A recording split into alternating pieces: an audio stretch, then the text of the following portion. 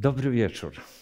Bardzo serdecznie witam Was, moi drodzy, już teraz tak ogólnie, chociaż z niektórymi witałem się po drodze. Widzę, że starzy bywalcy pojawili się, bo już się martwiłem i czekaliśmy, aż wszyscy się y, zgromadzimy w komplecie. Cieszę się ogromnie, że mamy drugie spotkanie y, w tej naszej serii, drugie, bo bardzo ważne y, spotkanie, które nas dalej teraz przeniesie do drugiego poselstwa Anioła. Ktoś mnie zapytał, a czy pastor nie zapomniał o tym, że przecież w pierwszym poselstwie jeszcze jest to podrzędne zdanie, o którym była mowa i nic nie powiedziałem o tym. Już tłumaczę. Czwarty wykład poświęcony jest tylko zagadnieniom sądu. Zatem nie zapomniałem, ale to jest tak ważne, że trzeba było to przenieść jeszcze e, oddzielnie. Dzisiaj, witając Was, moi drodzy, chciałbym, abyśmy e, rozpoczęli e, nasze spotkanie. Jak zawsze będziemy rozpoczynali modlitwą, więc zapraszam, jeśli możecie powstać. Wszechmocny nasz Boże i Panie, dziękujemy Tobie za cały sabat, jaki nam dzisiaj dałeś.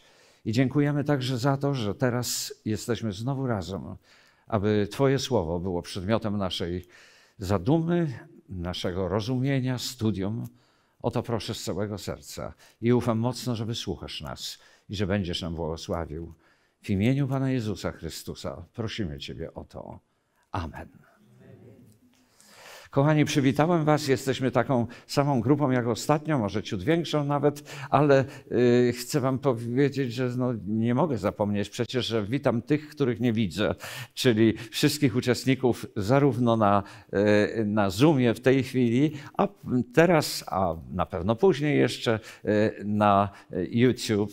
Y, cieszę się, że y, znowu coraz więcej y, osób przybywa tam, oglądają ten program. Cieszę się zatem, że poselstwo będzie mogło mogło docierać. Ja natomiast w tej chwili chciałbym Was zaprosić, tak jak ostatnio, pozostańcie siedząc, ale będziemy śpiewali ku chwale Pana i będziemy, y, będziemy śpiewali tym razem pieśń, którą znacie bardzo dobrze. O Boga pewność Jezus jest mój. Przejdę tylko do instrumentu, żeby Wam zaakompaniować i chciejmy to razem z całego serca śpiewać.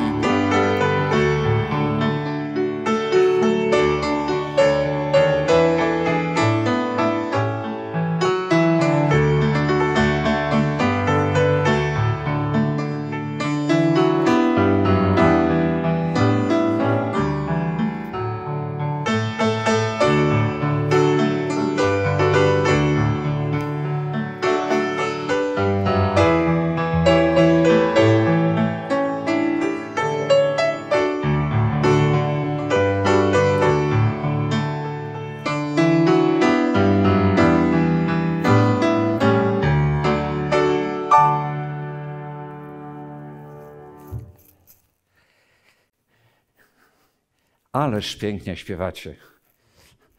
Ja słuchałem tego z przyjemnością, jak słyszę wasze głosy rozśpiewane. Moi drodzy, y, tak jak mówiłem już ostatnio, wprowadzając do tej krótkiej serii, y, chcę przypomnieć, że nasza seria ma troszeczkę inny charakter tym razem. Nie tyle robimy egzegezę tekstu, i chociaż w pewnym sensie i egzegeza tekstu ma tutaj miejsce, ale e, staramy się powiedzieć zawsze też o czymś, co jest bardzo, e, bardzo ważne. Staramy się powiedzieć w sposób bardziej kazaniowy, apelujący do każdego z nas, bo poselstwo trójanielskie jest ostatnim wezwaniem. Zatem nigdy o tym nie możemy zapomnieć. Nie powinniśmy także zapominać o tym, że centralny wątek poselstwa jest bardzo charakterystyczny w całości wszystkich trzech poselstw. Po pierwsze, jest to ostrzeżenie przed oddawaniem sobie chwały, i po drugie, apel do polegania na sprawiedliwości Chrystusa jako naszej jedynej nadziei na zbawienie. Przypominam sobie, jak troszeczkę w innej formie, ale wiele, wiele lat temu w Warszawie prowadziłem wykłady na ten temat i po wykładzie dotarły do mnie e, takie dwie opinie. Jedna opinia, no ale jak mogę osiągnąć, pastorze, to zbawienie? Ludzie pytali mnie o to i to spowodowało, że zdecydowałem się coś z tym zrobić, żeby jeszcze dodać. Tak tym sposobem do, doszły jeszcze dwa ostatnie wykłady, które dotyczyły e, już tego sposobu na zbawienie, sposobu na ratunek. Były i takie osoby, które powiedziały, już nic z tego nie rozumiem, na czym to wszystko polega, o co chodzi. Zatem Drugie y, poselstwo anioła, które dzisiaj mamy dotknąć, jest krótkim poselstwem, bardzo krótkim, ale bardzo wymownym. I jest to bezsprzecznie Ewangelia wieczna. Powiem Wam jeszcze o jednym, że zadziwiła mnie jedna rzecz bardzo mocno, że wczoraj czy przedwczoraj przeczytałem y, list mailem, który otrzymuję regularnie y, wysyłany przez pana Martina Alsa, który, który jest szefem, y, szefem Christian Lobby w naszym parlamencie, który przysłał ciekawy list, zapraszając na trzy wykłady, które będzie prowadził.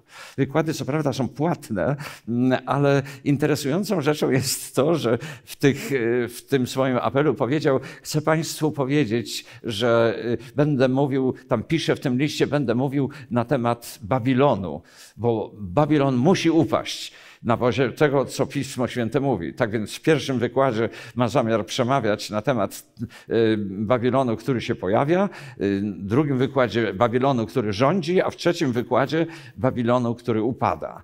No cóż, on będzie to łączył z kwestią polityki, natomiast my bardziej skupiamy się na sprawach religijnych, zupełnie innych. Tak więc postarajmy się popatrzeć na pierwszy na przewodni tekst naszego poselstwa. Poselstwo brzmi, a inny anioł, drugi, przyszedł ślad, mówiąc: Upadł, upadł wielki Babilon, co winem zapalczywości swego nierządu napoił wszystkie narody. Znany nam tekst. Widzicie tu dobrą nowinę, Ewangelię? Jest przede wszystkim w tym, że Babilon, który zrobił tak straszne rzeczy, upadł. I to jest fakt. I chociaż ten upadek Babilonu wciąż jest przed naszymi oczami i jeszcze trwać będzie jakiś czas, faktycznie jednak Bóg przesądził i powiedział: Upadł Babilon. Czyli nie ma sensu skupiać uwagi na tym. Ten tekst, moi drodzy, w sposób oczywisty sugeruje, że aby napoić wszystkie narody, jak czytacie tutaj, winem Babilonu, a więc także narody niechrześcijańskie, narody ateistyczne, Trzeba czegoś więcej niż jedynie stanowiska denominacyjnego względem tego poselstwa. Muszą istnieć jakieś inne fałszywe zasady, które wszyscy znają i stosują, skoro Pan Bóg daje nam takie ostrzeżenie. Muszą istnieć jeszcze jakieś inne rzeczy, które stoją w sprzeczności z tym przesłaniem, które Pan Bóg ma dla nas wszystkich. A pamiętacie, z tego pierwszego poselstwa te trzy wieczne elementy. Pierwszy element bójcie się Boga, drugi element oddajcie mu chwałę, a trzeci element i oddajcie pokłon temu, który stworzył. To bardzo ważne. Co więc stworzy ten Babilon? Co na ten temat możemy powiedzieć? Faktycznie więcej y, informacji na ten temat możemy znaleźć w poselstwie, które y, przynosi nam jeszcze jeden anioł, ale który ściśle współdziała z tym, co czytamy w poselstwie drugiego anioła. Jest to osiemnasty rozdział Księgi Apokalipsy, Księgi Objawienia i tam pierwszy, drugi i piąty werset. Przeczytajmy. Potem widziałem innego anioła, wstępującego z nieba, który miał wielkie pełnomocnictwo i rozjaśniła się ziemia od jego blasku. I zawołał donośnym głosem: Upadł, upadł wielki Babilon i stał się siedliskiem demonów i schronieniem wszelkiego ducha nieczystego i schronieniem wszelkiego ptactwa nieczystego i wstrętnego, gdyż aż do nieba dosięgły grzechy jego i wspomniał Bóg na jego nieprawości. Zauważyliście podobieństwo? To nie jest dodatkowe inne poselstwo, to jest tylko wzmocnienie poselstwa drugiego anioła. Ten anioł mówi dokładnie to samo, precyzując dokładnie dlaczego upadł. Dlaczego? Bo Pan Bóg musiał interweniować, bo Pan Bóg, kiedy dotarły do nieba wszystkie grzechy Jego, wspomniał na Jego nieprawości i powiedział koniec z tym. Kim jest ten Babilon? Babilon, jak wszyscy wiemy, wywodzi się bezpośrednio od wieży Babel. O tym możemy przeczytać już w Księdze Rodzaju. I jeszcze w takim razie teraz chciałbym, abyśmy przeczytali z Księgi Rodzaju y, z 11 rozdziału dziewięć tekstów, bo one nam są bardzo potrzebne tutaj. Popatrzmy. Mieszkańcy całej ziemi mieli jedną mowę, czyli jednakowe słowa. Gdy wędrowali ze wschodu, napotkali równinę w kraju Shinear i tam zamieszkali. I mówili jeden do drugiego: chodźcie, wyrabiajmy cegłę i wypalmy ją w ogniu. A gdy już mieli cegłę zamiast kamieni i smołę zamiast zaprawy murarskiej, rzekli: Chodźcie, zbudujemy sobie miasto i wieżę, której wierzchołek będzie sięgał nieba, i w ten sposób uczynimy sobie znak, abyśmy się nie rozproszyli po całej ziemi. A Pan zstąpił z nieba, by zobaczyć to miasto i wieże, które budowali ludzie, i rzekł: są oni jednym ludem i wszyscy mają jedną mowę. I to jest przyczyną, że zaczęli budować. A zatem w przyszłości nic nie będzie dla nich niemożliwe, cokolwiek zamierzą uczynić. Przejdźmy więc i pomieszajmy tam ich język, aby jeden nie rozumiał drugiego. W ten sposób Pan rozproszył ich, stanął po całej powierzchni ziemi i tak y, y, stamtąd, przepraszam, stamtąd po całej powierzchni ziemi i tak nie dokończyli budowy tego miasta. Dlatego to nazwano je Babel. Tam bowiem Pan pomieszał mowę mieszkańców całej ziemi. Stąd też Pan rozproszył ich po całej powierzchni ziemi. Babilon lub Babel to symbol wielkiego zamieszania. To mieszanina różnych pomysłów, ale to coś więcej niż jedynie religia zrób to sam. Faktycznie, jeżeli znamy troszeczkę tło tego, o czym czytamy w pierwszej księdze Mojżeszowej, w księdze rodzaju, i jeżeli popatrzymy troszkę na historię, to wiemy o tym, że Nimrod, który był prawnukiem Noego, był wielkim budowniczym miast. Tak Biblia go określa. On był właśnie budowniczym i założycielem Babilonu czy Babel. Niektórzy nawet kojarzą go troszeczkę z Gilgameszem, czy nie jest to właśnie ten sam. Trudno nam dzisiaj powiedzieć, to nie jest aż tak istotne. Tego prawdopodobnie i tak nigdy nie do, do tego nie dotrze. Gilgamesz to jeden z wielkich bohaterów y, do rzecza, y, do rzecza Eufratu i, i w związku z tym y, często ludzie kojarzą to w taki sposób. Sama wieża Babel została zbudowana jako ludzka próba zagwarantowania sobie zbawienia własnymi rękami. I to jest niesamowite. Zatem, na czym to polegało? Myśleliście kiedyś nad tym? Ludzie po prostu w pewnym momencie powiedzieli: Tak, my wiemy nawet, że ta tęcza to miała być gwarancją tego, że Pan Bóg zawarł z nami przymierze, ale kto to tam wie z tego Pana Boga może zmienić zdanie? Spróbujmy robić sami. Spróbujemy się zabezpieczyć. Zrobimy wszystko, co możliwe, żeby nawet nam Pan Bóg nie zaszkodził. Faktycznie to powiem Wam szczerze, że y, jest mi to wcale nie tak obce, to co w tej chwili powiedziałem. Zauważyłem bowiem, że na, w czasie lat mojej pracy pewnego razu prowadziłem takie spotkania na terenie, na terenie yy, Bytomia. Na spotkania przychodził pan Antoni. Bardzo miły człowiek, bardzo sympatyczny. Potem nagle zniknął i nie było go na kolejnych spotkaniach, a potem znowu się pojawił. Więc jak się pojawił, przywitałem go bardzo ciepło. Powiedziałem, szukałem pana wzrokiem, nie mogłem znaleźć. Co takiego pana zatrzymało, że nie mógł pan przyjść? A on mówi, o, nie mogłem pastorze przyjść, dlatego że musiałem ratować tam niektórych ludzi. Ja mówię, ratować? O, to bardzo miłe, że pan się tym zajmuje. On powiedział, no, no ja uzdrawiam ludzi. Uzdrawiam ludzi. Ja mówię, jak to pan robi w takim razie? W jaki sposób? Zaczęliśmy rozmawiać. Aż w pewnym momencie w trakcie rozmowy ten człowiek wyciągnął wyciągnął spod koszuli taki amulet, który wisiał na złotym łańcuchu i powiedział mi, widzi pan, to jest coś, co mnie zabezpiecza. Ja nigdy nie zachoruję, nic się nie stanie. Ja mówię, no ale spodziewamy się, że Pan Jezus powróci wkrótce. To co Pan taki pewny tego wszystkiego, że nic się Panu nie stanie? O, nawet Jezus nie jest w stanie mi niczego uczynić. Ja jestem zabezpieczony, bo mam łączność z mocą wszechświata. Ja wszystko wiem, wszystko potrafię. Nie muszę wam mówić, że troszeczkę ciarki przeszły mi przez, nasz, przez moje ciało, bo pomyślałem sobie, czym się ten człowiek zajmuje, na czym to polega. Jeszcze był chyba na dwóch wykładach, potem już skończył uczestniczenie. Owe zamieszanie, które powstało, polegało na tym, że ludzie chcieli sami coś zrobić. Stąd tytuł naszego spotkania dzisiejszego Religia zrób to sam. Owo zamieszanie owocuje poglądem. Niekoniecznie zrób to sam. Zrób część sam i pozwól Bogu zrobić jego część. Zauważyliście różnicę? To niezwykle istotne, aby ją zauważyć i aby wiedzieć, na czym to polega. Jeszcze raz to pokażę. Zrób część sam i pozwól także Bogu zrobić resztę. To znam doskonale. Mnóstwo kościołów dzisiejszych, gdzie znajduje się mnóstwo szczerych, kochanych ludzi, jest przekonanych, że oni muszą od siebie zrobić wszystko, co mogą dla swojego zbawienia. Oczywiście zaraz wam powiedzą, nie wszystko jestem w stanie, bez Boga nie potrafiłbym, ale Pan Bóg uzupełni tą resztę, co ja już zrobiłem. Jest to jedno z najbardziej popularnych poglądów w dzisiejszym świecie. To, co my mamy zrobić sami, nazywają, żeby nie uciec od słowa łaska, zbawienie jest z łaski, bo to jest ta łaska uzdalniająca, która pozwoli mi, że ja popracuję nad swoim zbawieniem także.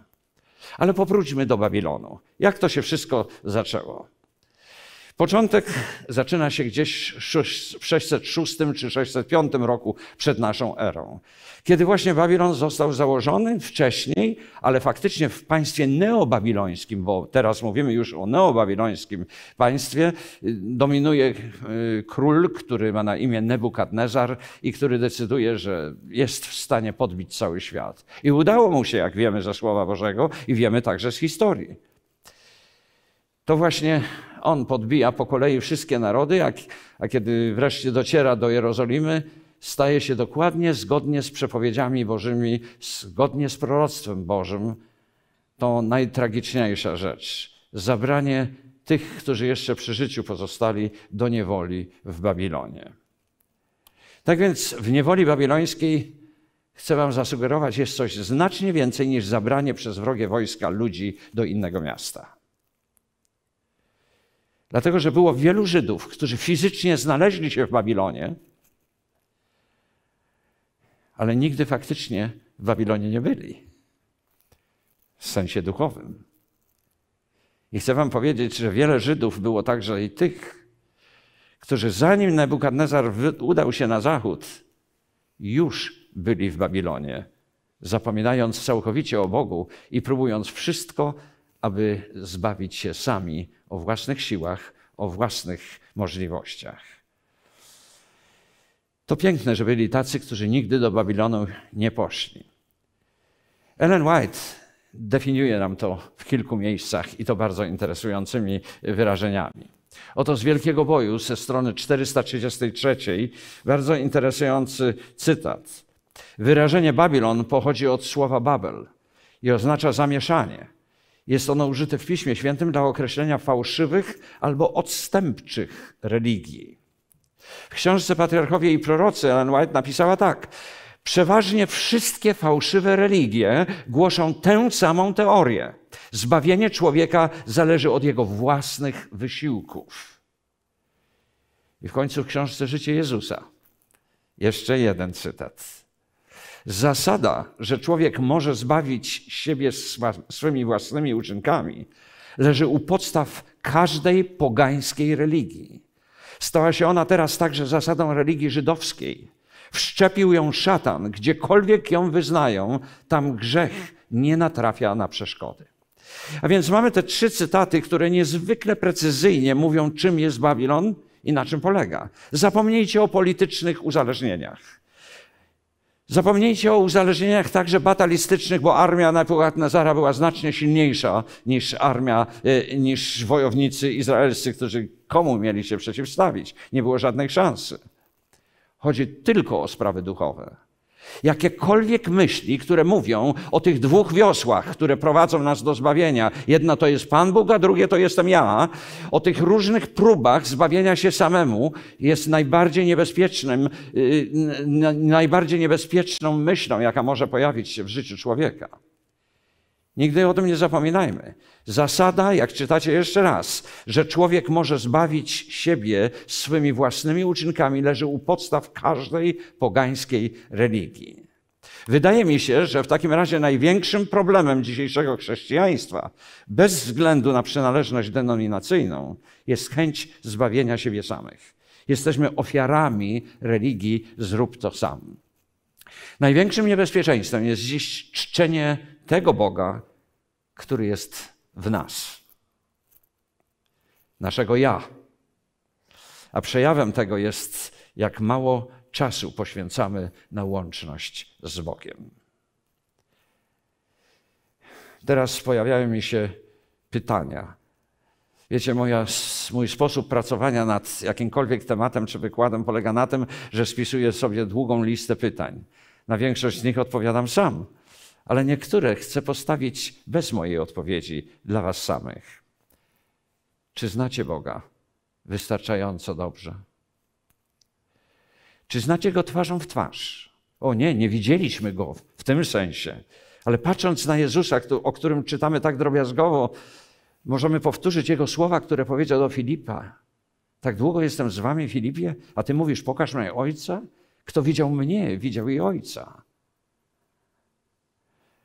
Czy wiemy, że oznacza to osobiste życie modlitwy, rozmowę z Panem Bogiem, każdego dnia, wielokrotnie, kiedy się budzimy, kiedy pracujemy, kiedy chodzimy, kiedy w zamyśleniu kierujemy nasze myśli do Boga, do Jego tronu? Czy wiecie, że obejmuje to spędzanie czasu sam na sam z Jego Słowem? Bardzo mi brakuje tego, jeżeli zdarzy się, że nie mam czasu, abym dla siebie poczytał Jego słowa i dla siebie znalazł znowu coś, co porusza. A jest to niesamowite. Teksty, które faktycznie w połowie mogę zacytować na pamięć, to znaczy w tej drugiej zacznę czytać i zaraz wiem, co jest dalej, przemawiają po raz kolejny zupełnie w inny sposób, za każdym razem. To jest poselstwo. To jest coś niezwykle ważnego. Jeśli ja tego nie znam, jeśli nie postawiłem sobie pytania, jak to jest, to jestem ofiarą Babilonu. Jakkolwiek bym tego nie nazywał. Tak łatwo być ofiarą Babilonu. Znajomość Boga nie jest rzeczą dowolną i taką nigdy nie była. Jest to konieczność dla każdego z nas. Jest to konieczność, abyśmy coraz więcej wiedzieli na ten temat. Spędzanie czasu z Bogiem nie jest czymś ekstra w religii. Jest to jej cała podstawa. Czy w końcu, moi drodzy, musimy być czymś więcej niż klubem ludzi, którzy chodzą, którzy chcą żyć dobrze, którzy chcą żyć etycznie, ale to tak, no po prostu bardzo dobrze takim być porządnym człowiekiem. Znam takich, którzy są całkowicie niewierzący. Którzy w ogóle o Bogu nie chcą słyszeć, a są super porządni i super uczciwi, moralnie na najwyższym poziomie, A jednak powiem Wam, że wiara chrześcijańska, albo może jeszcze inaczej, cała religia, jaką wyznajemy jako adwentyści Dnia Siódmego, bez tego zrozumienia jest niczym. Musimy być czymś absolutnie więcej niż jedynie klubem ludzi, którzy przychodzą, aby się spotkać ze sobą. My mamy tu przychodzić, aby spotykać się z Bogiem i aby każda okazja była przybliżeniem się do Niego. I to jest główny cel. No ale powstaje jeszcze jeden problem. Co to jest to wino Babilonu? Powróćmy do literalnego Babilonu. Pamiętacie, powiedzieliśmy już sobie, kiedy się to zaczęło, to państwo neobabilońskie od czasu Nebukadnezara, mniej więcej 605-606 rok przed naszą erą. Powiedzieliśmy, że w niewoli babilońskiej możemy się znaleźć niekoniecznie fizycznie, ale duchowo. Stąd, że kiedykolwiek mówię na temat Babilonu, kochani, stawiam sobie pytanie, abym przypadkiem ja w Babilonie nie był, będąc adwentystą dnia siódmego, święcąc sabat oddając dziesięcinę, będąc wiernym we wszystkich, starając się być wiernym we wszystkich zasadach. Jakże łatwo być w Babilonie w sensie duchowym i tego powinniśmy być świadomi. Zatem popatrzmy nieco na historię Nimroda, Semiramidy i Tamuza. Nimrod jako budowniczy Babilonu był ubóstwianym władcą. Wszyscy podziwiali go, jak pisze Aleksander Hislop w książce y, Dwa Babilony. Jest to bardzo cenna książka, która y, powstała już dość dawno, ale wciąż jest cennym materiałem historycznym. Jego żona Semiramida, o Samurabat, jak, jak czasami, Samuramat, jak czasami jest to w innej transkrypcji, po śmierci Nimroda, który zginął w czasie jednego z polowań, tam ci ludzie wtedy często na polowaniach ginęli. Takie hobby mieli dziwne, zabijać zwierzęta i czasami zdarzało się, że to zwierzęta były sprytniejsze. Tak więc Nimrod zginął. Jego żona ogłosiła wtedy w całym państwie, że mąż poszedł bezpośrednio do nieba i teraz jest Bogiem Słońcem. Ludzie więc zaczęli oddawać cześć Słońcu. Pamiętajmy, że kult słońca ma swoje początki właśnie w Babilonie i co do tego nie ma żadnych dzisiaj wątpliwości. Tak więc ludzie zaczęli czcić słońce. Potem powiedziała, że ona, kiedy umrze, będzie księżycem. I to ona będzie też bardzo ważna, więc ludzie zaczęli już za jej życia czcić księżyc. Problem pojawił się jednak zupełnie inny. Pewnego razu nagle okazało się, że Semiramida jest w ciąży, a przecież mąż już dawno zmarł. W związku z tym, żeby to wytłumaczyć, powiedziała, że ona poczęła z ducha męża, który ją natchnął i tym sposobem jest w ciąży. Zwróćcie uwagę na spryt, jakim kieruje się szatan, kiedy stara się podpowiadać coś takiego. Kiedy urodzi się to prawdziwe dziecko na terenie Betlejem, niektórzy ludzie powiedzą, już coś takiego było. Już się nam rodziły takie dzieci. Urodziła syna. Syna, któremu dano na imię Tamus. Tam już dorastał i oczywiście został myśliwym. Aż kiedy już jako dorosły mężczyzna w pewnym momencie został rozszarpany przez dziki. I tym sposobem zginął także. Co Semiramida ogłosiła? Tamus w tej chwili jest na księżycu. Już on tam żyje i on jest kolejnym Bogiem. Więc ludzie zaczęli czcić księżyc. Musimy sięgnąć do Słowa Bożego, żebyśmy mogli się przekonać. W proroctwie Ezechiela w ósmym rozdziale mamy teksty od 12 po 14, które mówią na ten temat. I rzekł do mnie, czy widzisz, czemu się oddaje w ukryciu każdy ze starszyzny domu Izraela w tajemnej komnacie? Mówią oni bowiem, Pan nas nie widzi, Pan opuścił ten kraj. I rzekł do mnie, zobacz jeszcze gorsze obrzydliwości popełniane przez nich. Następnie zaprowadził mnie do przedsionka bramy świątyni pańskiej, mieszczącej się po stronie północnej, a oto siedziały tam kobiety i opłakiwały tam muza. Potraficie sobie wyobrazić? Prorok Ezechiel mówi, co dzieje się w Jerozolimie, tuż przed wejściem do świątyni. A zatem ten kult babiloński przeszedł bardzo mocno na tereny Izraela i został przyjęty. No cóż, jeżeli nie byli posłuszni Panu Bogu, no to co należało zrobić? Ale popatrzmy dalej, moi drodzy, dlatego że te rzeczy już sobie omówiliśmy, ale teraz mamy kult Tamuza po jego śmierci, który y, urasta już do maksimum. Tak więc lud Boży czcił pogańskich bogów. To działo się już wcześniej także i to dość mocno. Ale tym razem czczą pogańskich bogów. Były także pewne pogańskie święta, jak narodziny Tamuza. O, 25 grudnia, tak a propos. Tamuz ogłoszono jego urodziny na dzień 25 grudnia. Było też inne święto. Dziewięć miesięcy wcześniej, przed urodzeniem Tamuza, ogłoszono święto poczęcia Tamuza.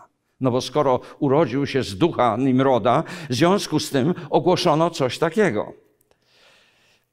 Przypadało to na pierwszą niedzielę po równonocy, y, która następuje na wiosnę w tamtej szerokości geograficznej.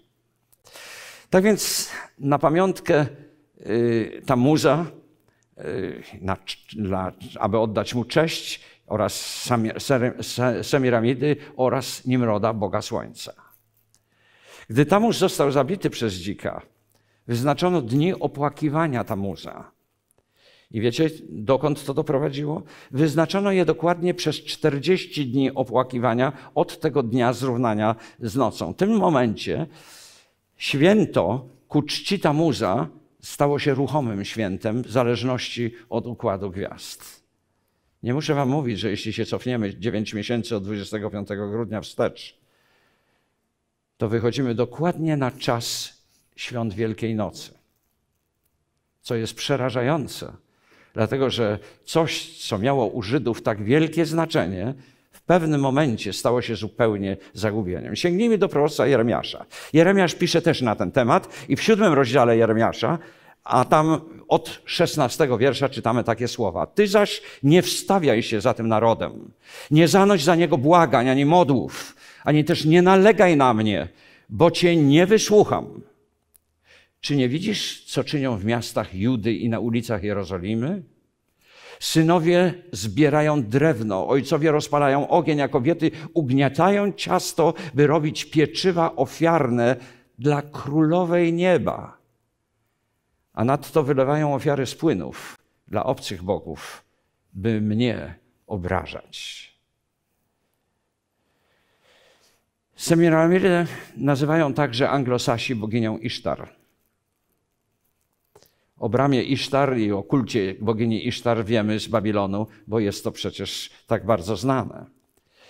Jeśli chodzi o odpowiedniki Tamuza w innych y, religiach, to mamy oczywiście y, bożki słońca, takie jak Ra, Ozyrys, Szamus, Adonis, Melech, Perebor, Mel, y, Melmitra, Apollo, Bacchus. I mam też dwa pytania. Czy przypadkiem my nie jesteśmy ofiarą religii Zrób to sam? Czy mego zbawienia nie opieram tylko na sobie? Tłumacząc to, no to jest ta moja wola, to jest ta moja chęć. Chwileczkę, moja wola. Pamiętacie, co apostoł Paweł napisał do Filipian w drugim rozdziale? Że Bóg sprawia w nas i chcenie, i wykonanie. Do nas pozostała tylko decyzja, ale decyzja nie jest żadną zasługą. Tak więc wino szaleńczej rozpusty, wino zapalczywości swego nierządu. To prowadzi nas do bardzo ważnej rzeczy. Połączenie naszych wysiłków, naszych prób zbawienia się samemu, równocześnie z teorią, że to Bóg jest zbawicielem, zostało określone przez teologów i przez uczonych mianem synkretyzmu. Pozwolę sobie w takim razie ten synkretyzm podać Wam definicję, abyśmy dobrze wiedzieli, o czym mówimy. Jest to łączenie lub wcielenie dwóch przeciwnych sobie, sprzecznych ze sobą idei lub zasad. Teologowie używają tego pojęcia dla określenia koncepcji zbawienia częściowo z uczynków, a częściowo z wiary. Synkretyzmem można nazwa, nazwać także to, co dzieje się w tak zwanym ruchu ekumenicznym, gdzie sprzeczne poglądy różnych denominacji i różnych grup nagle są łączone. Nie patrzmy, co nas dzieli, patrzmy, co nas łączy. Kiedy wiemy, że to, co nas dzieli, jest tak strasznie duże, że nie jesteśmy w stanie łączyć się żadnym sposobem. I to są właśnie problemy. Zauważmy, że w poselstwie zostało to nazwane winem szaleńczej rozpusty. Ellen White napisała, że są to ludzie, którzy. No, zresztą przeczytajmy ten cytat, bo już chciałem go cytować z pamięci. Jest to cytat z wybranych poselstw z pierwszego tomu i tam ze strony 328. Chociaż myślą ci ludzie, którzy tak postępują, że powierzają siebie Bogu, to za bardzo polegają na sobie samych. Istnieją sumienne dusze, które ufają częściowo Bogu i częściowo sobie. Nie spoglądają na Boga, aby zostać uratowani przez Jego moc, lecz polegają na czujności przeciwko pokusie i wywiązywaniu się z pewnych obowiązków, aby być przez Niego przyjętymi. Nie ma zwycięstw w tego rodzaju wierze. Takie osoby trudzą się bez celu. Ich dusze są w nieustannej niewoli i nie znajdą odpoczynku, dopóki ich ciężary nie zostaną złożone u stóp Jezusa. Zwróćcie uwagę, to są szczerzy ludzie. Zwróćcie uwagę, to są ludzie, którzy szczerze pragną być posłuszni Panu Bogu i tak pilnują każdego kroku, żeby przypadkiem tu nie upaść, tam nie upaść. Pilnują nie tylko siebie, ale pilnują także wszystkich wokół siebie, wskazując palcem, oj bracie, ty grzeszysz, siostro, tak nie należy i tak dalej, i tak dalej. To są problemy. Ufanie po części Bogu i po części sobie. To jest nazwane rozpustą, winem rozpusty, synkretyzmem. Nadal tacy ludzie są częścią Babilonu. Nadal mają udział w winie. Mam jeszcze bardzo interesujący inny cytat, który zapewne pociągnie Waszą uwagę także. Pochodzi z książki Artura Spaldinga. Książka ma tytuł Kapitanowie zastępów, Captains of the Host. Wielu z tych, którzy nazywają się chrześcijanami, wierzy, że muszą walczyć, aby stać się dobrymi i aby czynić dobrze. A gdy uczynią to, co potrafią, wtedy Chrystus przyjdzie i dokona reszty. W tym pomylonym credo zbawienia częściowo z uczynków, a częściowo z pomocniczej mocy, wielu ludzi dostrzega dzisiaj swą nadzieję. Smutne. Ale nie martwcie się, Babilon upadł. To jest dobra nowina. Jeśli tym bardziej wiemy, na czym on polega, czego dotyczy, to zupełnie inaczej podchodzimy do wszystkiego. A zatem jeszcze raz tą historię Babilonu przejrzyjmy z uwagą. O powstaniu już wiemy w którym roku. Wiemy na czym polega niewola babilońska. Wiemy, że łączy się to z historią Nimroda, Semiramidy i Tamuza. Wiemy, że kult Tamuza urósł tak bardzo mocno, że stał się wielkim niebezpieczeństwem i w końcu historia Nebukadnezara. Wciąż Babilon i wciąż te same rzeczy. Pamiętamy tę historię bardzo dobrze. Otóż król Nebukadnezar był zachwycony tym, czego dokonał. Pomyślcie, stworzył mocarstwo ogólnoświatowe.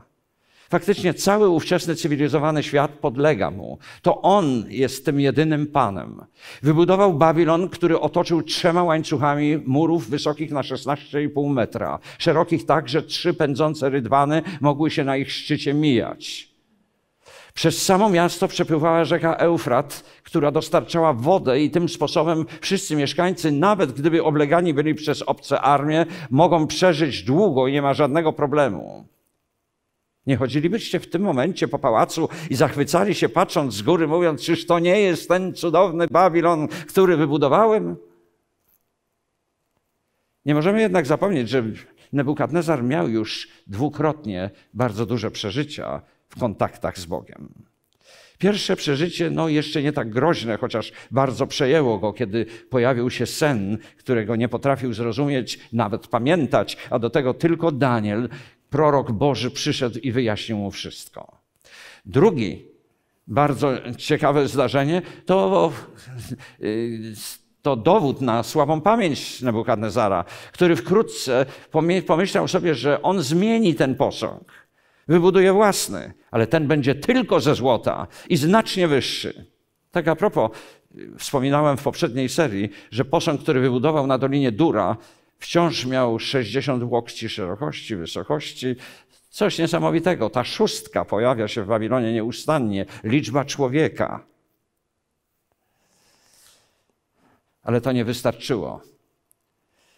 Nawet szczęśliwie uratowani przez Boga trzej młodzieńcy wrzuceni do pieca ognistego, którzy byli najlepszym, najsilniejszym świadectwem, kto rządzi i kim jest Bóg, nic nie pomogło. Nebukadnezar nadal jest zachwycony sobą. I kiedy Pan daje mu sen, i kiedy Daniel mu wyraźnie wyjaśnia sen i mówi, co się stanie, Nebukadnezar nie daje temu wiary. Była szansa, że mógłby się odwrócić od wszystkiego. Była szansa, aby się upokorzył. Chyba podobna jak każdy z nas ma często. Szansa na to, aby stać się naśladowcą Boga, ale Nebukadnezar trwał uparcie przy swoim. W związku z tym sen musiał się wypełnić dokładnie. Siedem lat całkowitego odosobnienia. Siedem lat w ówczesnych czasach, czasach Nebukadnezara, wystarczyło, aby ktoś inny przejął władzę nad całym państwem. Ale Pan Bóg czuwał nad tym, aby to się nie stało. Siedem lat wystarczyło, żeby jakaś inna armia, która dowiedziała się, że faktycznie mają kłopot z królem, który nie rządzi, a więc osłabł całkowicie, możemy wygrać, możemy dostać się tam. Ale Pan Bóg czuwał dalej. Nie dopuścił do niczego takiego. Siedem lat choroby tak ciężkiej, że trudno sobie wyobrazić reakcję wszystkich dworzan, wszystkich podległych Nebukadnezarowi, którzy widzieli teraz króla obrośniętego, zjadającego trawę, wypasającego się ze zwierzętami i nie potrafiącego nawet komunikować się z nikim. Potraficie sobie wyobrazić coś takiego jako dworzanie królewscy? Pan Bóg daje mu lekcję najtrudniejszą do przeżycia. Ale Nebukadnezar wreszcie na koniec, kiedy po siedmiu latach wraca w pełni do swojej siły, do swojego autorytetu, teraz już wie. I o tym nigdy nie zapomni. Wie, kim jest Pan Bóg. Jakżeż piękne jest to, co czytamy w czwartym rozdziale Księgi Daniela, w 34, trzecim i czwartym wersecie. W tej samej chwili powrócił mi rozum i na chwałę Jego panowania powrócił mi majestat i blask.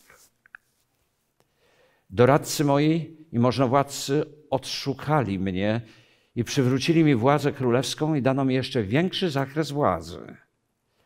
Ja, Nabuchodonozor, wychwalam teraz, wywyższam i wysławiam króla nieba, bo wszystkie jego dzieła są prawdą, a drogi jego sprawiedliwością. Tych zaś, co postępują pysznie, może on poniżyć.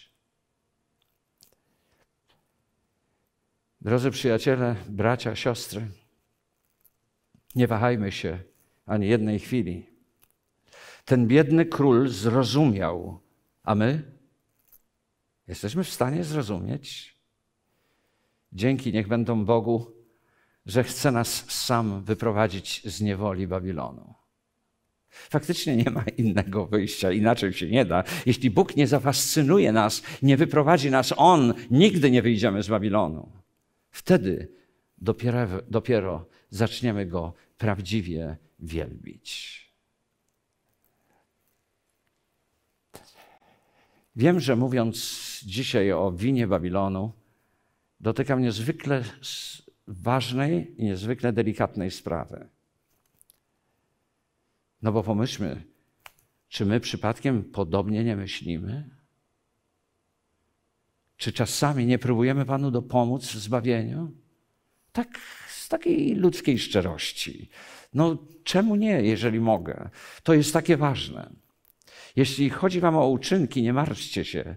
Zaowocujemy najlepszymi uczynkami, jeśli On będzie w nas jeśli będzie w, żył w nas, będzie działał w nas. Zaowocujemy absolutnie heroicznymi uczynkami, nie zauważając je, tylko oddając nieustannie chwałę Panu Bogu. Nieraz zastanawiałem się nad tym, co myślał Nebukadnezar czy Nabuchodonozor, kiedy już wyzdrowiał. Tak, no wiemy, przeczytałem, co myślał. Ale co myślał w tym momencie, jak to jest możliwe? Ja nadal mam władzę. Nadal mam państwo, nic z czego nie straciłem. To była jedna wielka lekcja.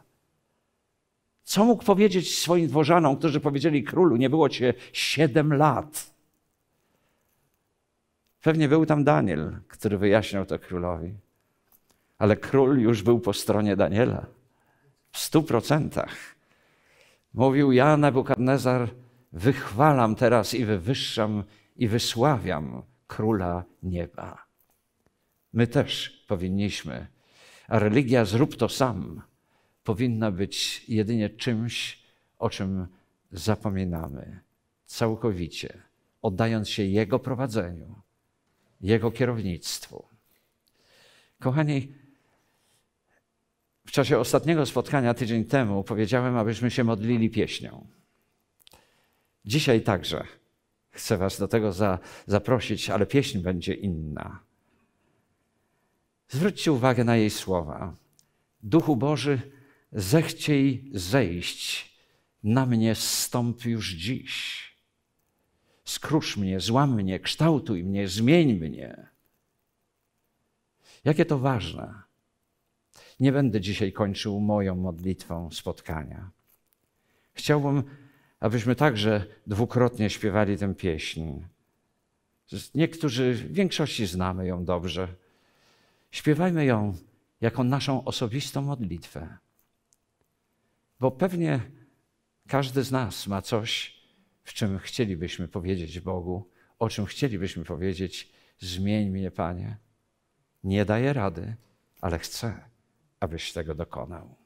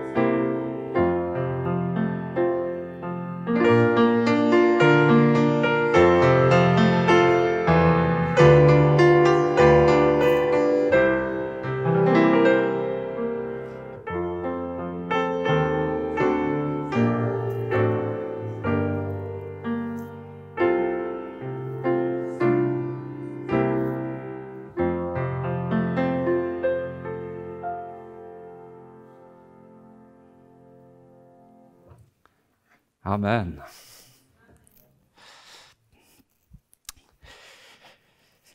Moi drodzy, podchodzę tutaj, aby pokazać Wam tytuł kolejnego wykładu i zarazem trzeciego poselstwa, trzeciego anioła.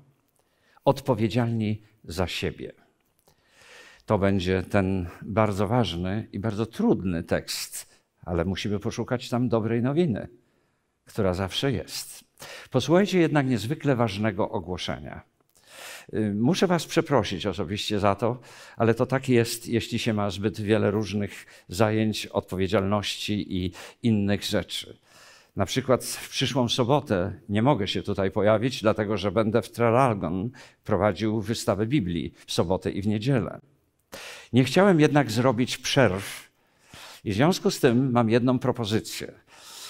Ponieważ zdecydowana większość ludzi jest i tak na Zoomie i na YouTubie, ja Was chciałbym gorąco prosić, bo dokonaliśmy pewnej zamiany z pastorem Janem Krystą.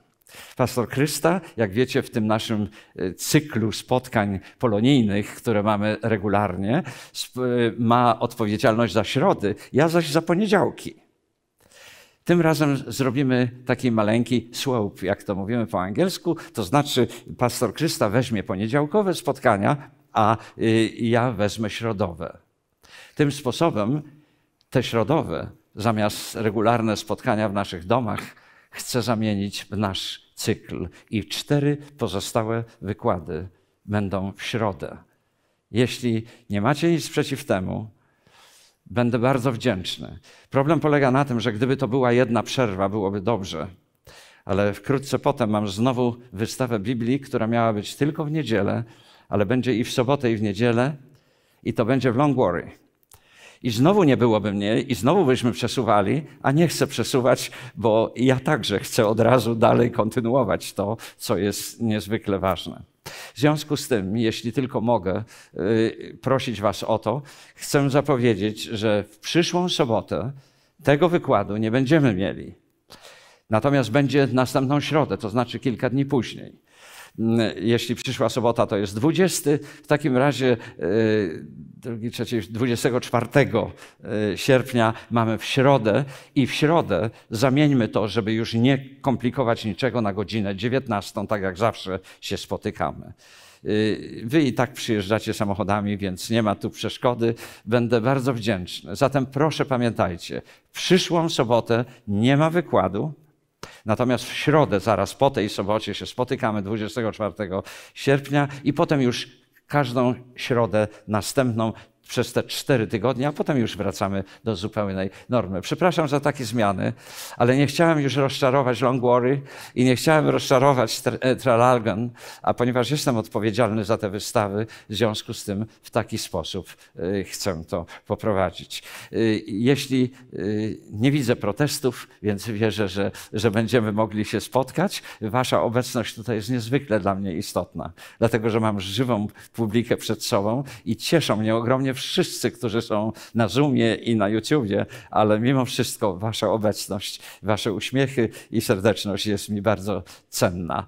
Y, do tego jeszcze jedna rzecz, o której chciałbym powiedzieć. Y, dzisiaj możecie odebrać wydrukowane materiały za poprzedni wykład y, i dzisiejszy, te pomocnicze.